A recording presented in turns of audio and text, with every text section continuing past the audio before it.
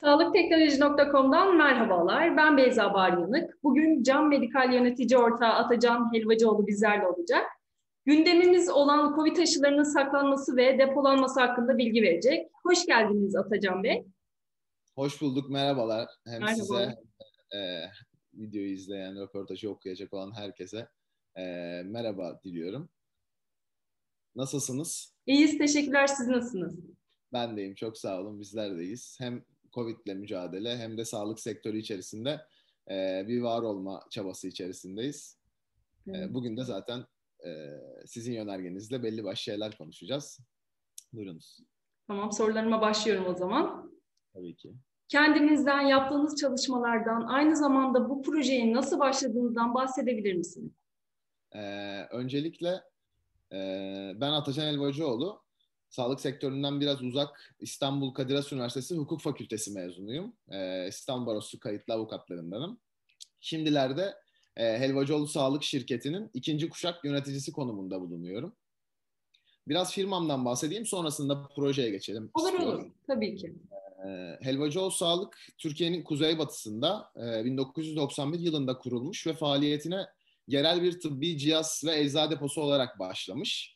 Sonrasında e, yeni yüzyıla geçtiğimizde e, MyMed markasıyla ortopedi ürünleri, e, ortopedi üretimine geçiş yapmış ve son 10 yılda ise geleneksel ticaretin yanına e-ticareti eklemiş olup e, dijitalleşmeyi yakalamaya çalışan, dijitalleşmeyi yakalamış. E, 4000 aile sağlığı merkezi, 20 bin aile hekimi ve 400'ü bayi olmak üzere 1000 e, eczaneye ürün tedariği sağlayan e, sağlık deposuna dönüşmüş bir aile şirketidir. E, faaliyetine 30 yıldır devam ediyor. E, ben de ikinci kuşak dediğim gibi yöneticisi konumunda bulunuyorum şu an. E, Birçok tıbbi cihaz ithalatçısı ve üreticisi firma ile işbirliği içerisindeyiz aslında. Ama bu son dönemde pandemiyle beraber yani aşının da öne çıkması sebebiyle e, işbirliği içerisinde olduğumuz e, Alman menşeli Berlinger firmasının e, Frishtek yani hafızalı termometre ürününün e, distribütörü durumundayız, konumunda bulunuyoruz hı hı. iç piyasada. Dolayısıyla bugün size hem aşının saklama ve depolama durumunun Türkiye altyapısını ve nasıl ilerlediğini, aynı zamanda da distribütörü konumunda olduğumuz e, Berlinger firmasının Frishtek ürününün e, nasıl bir prensipte çalıştığını ve bu saklama depolama konu, konusuna nasıl bir uyarlama e, içerisinde olduğundan bahsedeceğim. E, projemiz açıkçası bununla e, sınırlıdır. Freeshtag ürünüyle sınırlıdır. E, sizi dinleyeyim, sizin yönergenizle devam edeyim.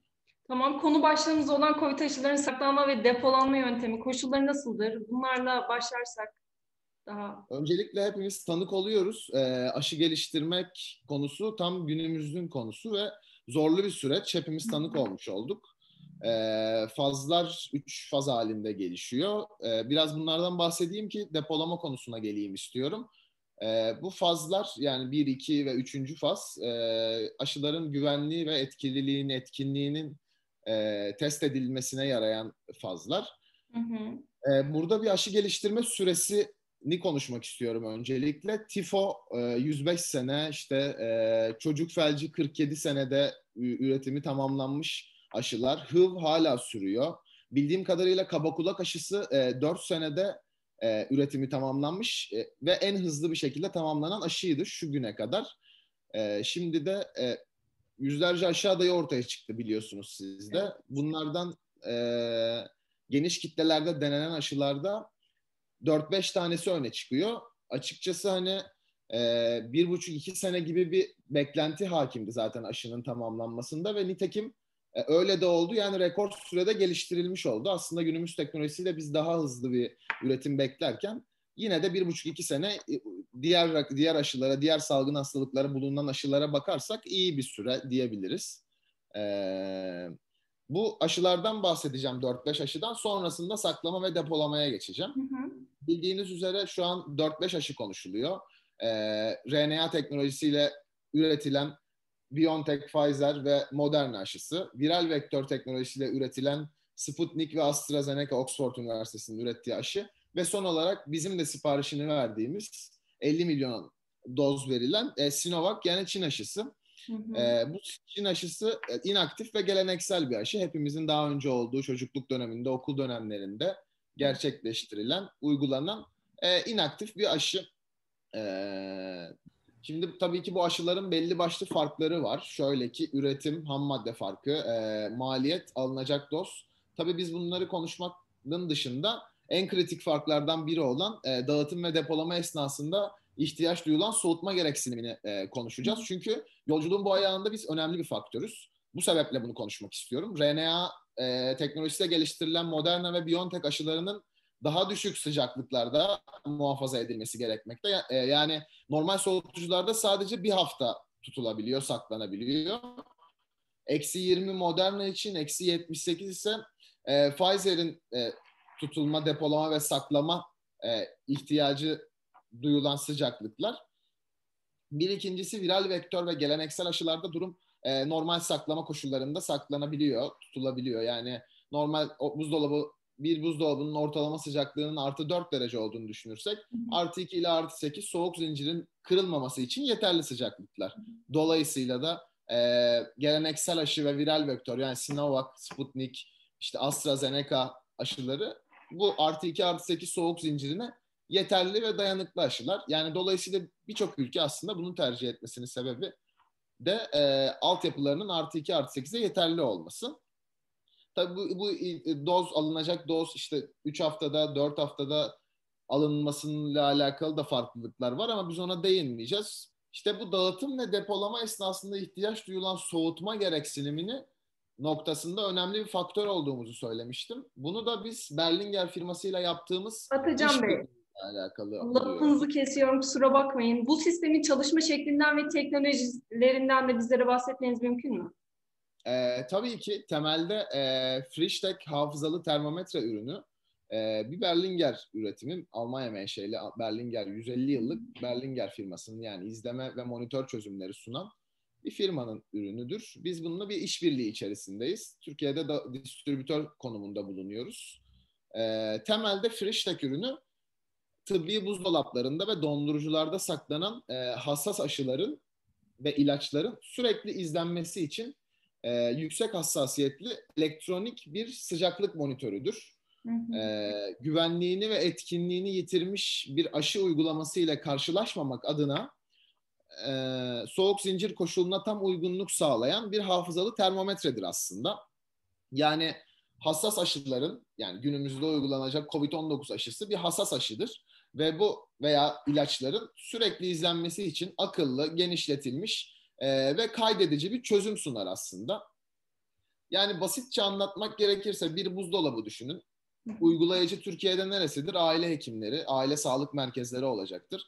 Aile sağlık merkezlerinin buzdolabında e, aşılar, COVID-19 aşıları ya da kızamık aşıları ya da okul aşılarını düşünün fark etmez.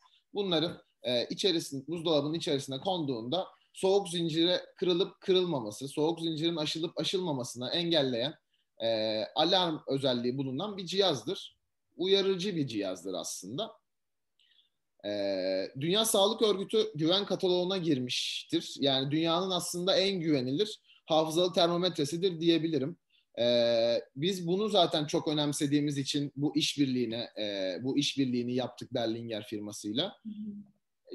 Nitekim önemlidir de ülkemizde e, şu an Dünya Sağlık Örgütü onaylı bir hafızalı termometre bulunmamakla birlikte e, belli başlı tabii ki sıcaklık monitörleri bulunmaktadır ve kullanılmaktadır da. Devam edecek olursam şöyle anlatayım isterseniz ürün. E, Freshtek ürünü e, üç farklı çeşidi vardır. Son dönemde BioNTech ve e, Moderna'nın çıkardığı eksi 20 ve eksi 78 dereceye kadar e, dayanıklılığı yani soğuk zinciri bulunan aşılar için e, Berlinger firması hızlı bir şekilde e, ultra low dediğimiz, Frischtek ultra low dediğimiz yani eksi 90 dereceye kadar dayanıklılık sağlayan bir e, cihaz geliştirmiştir. Frishtek 2 dediğimiz ve Frishtek 3 dediğimiz ürün ise modern e, Sputnik, AstraZeneca, Sinovac yani artı 2 artı 8 normal bizim e, soğuk zincir e, artı 2 ile artı 8 derece arasında bu soğuk zincir kırılımında derecesinde e, kullanılabilir, dayanıklılığı olan bir de zaten yıllardır satılan, iç piyasada bulunan bir ürün. İkisinin en temel farkı biri eksi 90 dereceye kadar dayanıklılık gösterirken diğer ürün artı 2 artı 8 derece arasında dayanıklılık hı hı. göstermektedir. Evet. Şöyle ki, şöyle anlatayım ürünü biraz. Ee, alarm özelliği bulunmaktadır ürünün. Yani siz buzdolabına koyduğunuzda ürünü, e, buzdolabında artı 2 artı 8 derece arasında yani artı 2 derecenin altında artı 8 derecenin üstüne çıktığında bir alarm özelliği vardır ve alarm vermektedir. Frishtek 2 öz, ürününde alarm özelliği bulunma, bulunmamaktadır. Yani sesli alarm özelliği bulunmamaktadır. Sadece ekranda alarm görüntülenebilir. Fakat Frishtek 3 ve e, Biontech aşısı için üretilen Ultra Low dediğimiz e, ürün de sesli alarm özelliği ve aynı zamanda e, SMS ve aynı zamanda e-posta özelliğiyle uyarı e, imkanı vardır. Hı hı. Bu da bu zaten yani temelde en önemli şey aslında bahsettiğimiz. Çünkü e, bunu birebir olarak almak e, sağlık uygulayıcıları açısından da çok önemli bir detay. E, onun dışında üründe e, soğuk zincirin kırılıp kırılmamasıyla alakalı SMS ve e-posta bildiriminden zaten bahsettim. Ee, bu arada sensörler var ürünün sen, üzerinde. Zaten Dünya Sağlık Örgütü'nün e, güven kataloğuna girmesini sağlayan temel sebebi bu üzerinde bulunan iç ve dış sensörlerinin uluslararası laboratuvar akreditasyonu birliği ve yine uluslararası teknoloji standartları enstitüsü ile e, beraber kalibre edilmiş olmasıdır. Yani bu uluslararası kuruluşlarla beraber çalışılıp ürünün üzerinde kalibreler denenmiş ve en e, ve bu sensörün yani sağ, sapma payı artı eksi sıfır buçuk derecedir. Fakat e, bu sıfır buçuk derecelik bir ölçüm hassasiyeti Dünya Sağlık Örgütü tarafından kabul edilir ve uygulanabilir bir ürün olduğunu ortaya çıkarır. Fakat sıfır buçuk derecenin üzerindeki e, sapmalar belli başlı problemler yaratabilir. Özellikle aşının güvenliği ve etkinliği noktasında. Yine şuna geleceğim Beyza Hanım. E, denetim uygulamaları oluyor biliyorsunuz sağlık uygulayıcıları tarafından evet. yani hem ye, yani yerel otoriteler tarafından belli başlı denetim uyguları oluyor, uygulamaları oluyor. Hem hastanelere e, hem ilk derece basamak sağlık kuruluşlarına yani aile sağlığı merkezlerine.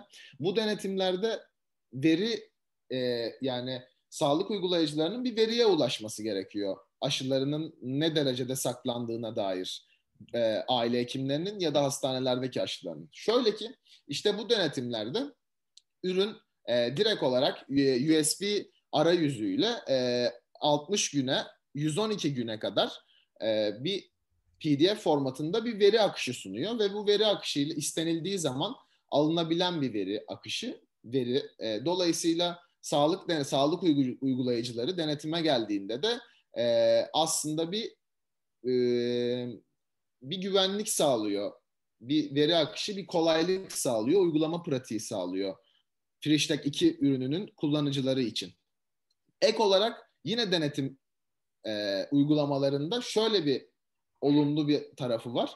Yani veri akışı sağlaması dışında bir de şöyle bir durumu var. Cihaz e, 36 ay ömrü var yani 3 yıl boyunca kullanılabilir. Fakat cihaz açılabilir bir özelliği yok. Bunun açılabilir olmamasının sebebi e, herhangi bir veri akışının değiştirilmemesi. Yani herhangi bir usulsüzlüğe ya da e, yanlışlığa ya da bir hileye izin vermiyor e, oluşu da aslında sağlık uygulayıcıları açısından tam anlamıyla bir güvenlik sağlıyor. Sadece sağlık uygulayıcıları açısından değil aşıyı olan e, çocuklarımız, e, eşlerimiz, annemiz, babamız ya da işte tüm toplum tarafından da bir güvenlik sağlamış oluyor. Bu da açıkçası bizi memnun ediyor. Yani hem güvenlik sağlamıyor olması hem Dünya Sağlık Örgütü'nden onaylı bir cihaz, güven kataloğuna giren bir cihaz olması e, hem de sağlık uygulayıcıları ve bu ürünün kullanıcıları tarafından bir veri akışının kolay bir şekilde alınıyor olması bizim için öne çıkan özellikler. Zaten alarm özelliği ürünün temel mantığı için gerekli. Bunu konuşmuyorum bile. Dolayısıyla bunlar e, birleştiği zaman açıkçası Frishtek 2 ürünü, e, Frishtek Ultra Low ürünü, Frishtek 3 ürünü yani Berlinger firmasının ürettiği sıcaklık monitörleri e, ile beraber bir işbirliği içerisinde olmaktan mutluyuz. Çünkü şu ana kadar e, Friştek ürünü yani Berlinger'in ürettiği Friştek iki ürünü e, yaklaşık 4000 aile sağlığı merkezinde e, yine yaklaşık 20 bine yakın aile hekimi tarafından kullanılmakta. Tabii ki devletimizin ve bakanlığımızın çıkardığı aşı takip sistemi de e, düzgün ve uygun bir şekilde ilerleyen bir sistem. Dolayısıyla bakanlığımızın altyapısı da bu noktada yani sağlık uygulayıcılarının, yerel otoritelerinin altyapısı da bu noktada yeterli. Atacan Bey, Friştek hafızalı termometre cihazının özelliklerinden de bahsettiniz. Çok teşekkür ediyoruz. Rica ederim. Ee, dinliyorum sizi. Son olarak eklemek istediğiniz bir şey var mı? Şöyle, e, tabii pandemi süreci gibi e, zorlu bir dönemden geçiyoruz. Dolayısıyla e, Friştek yani böyle bir sürecin, böyle bir aşı sürecinin içerisinde önemli bir faktör, önemli bir rol oynayan saklama ve depolama konusu gibi bir e, konunun içerisinde olmaktan, bir çözüm üretmekten açıkçası biz mutluyuz. E, umarım aşı süreci e, yeni yılla beraber, aşı sürecinin hayatımıza girmesiyle de beraber e, bir yenileşme, bir iyileşme e, sürecine bizi sokacaktır diye düşünüyorum. E, yeni yıl tüm herkese pandemi dönemini geride bıraktığımız, tüm herkese sağlığının ve mutluluğa kavuştuğu, sağlıklı günlere kavuştuğu bir hayat diliyorum aslında. İlk etapta temennim bu. Ee, ek olarak biz sağlık teknolojileri, e, çal, sağlık teknolojileri üreten e, firmalarla, şirketlerle çalışmaya ve bu süreçte e, tam da aşı sürecinin ortasında olmaya e, gayret gösterilmeye çalışıyoruz.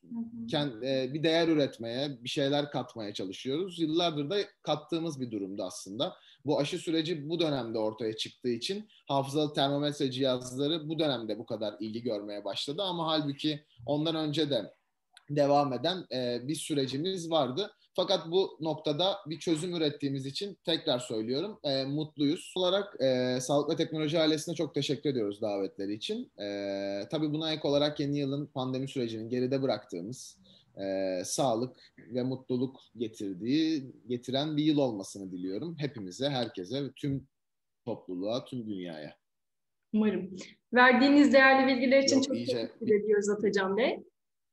Bir sonraki röportajlarımızda görüşmek dileğiyle. Hoşçakalın.